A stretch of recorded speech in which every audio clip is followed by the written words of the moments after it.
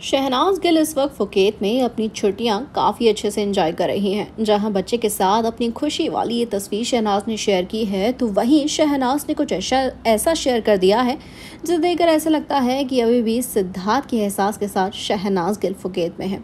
शहनाज गिल ने इन कौओं की, चिड़ियों की कुछ वीडियो को इस तरह शेयर किया है, जिससे ये याद दिलाया जाता है कि शहनाज गिल और इनका आखिर क्या रिश्ता, क्या नाता है?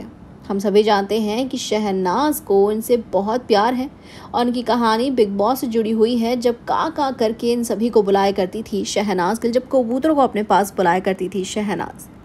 तो जब चिड़िया उनके आगे अब हैं, उनकी तस्वीरें, उनकी वीडियो शहनाज गिल ले रही हैं तो कहीं ना कहीं वो वक्त फिर से याद ज़रूर सामने आता है।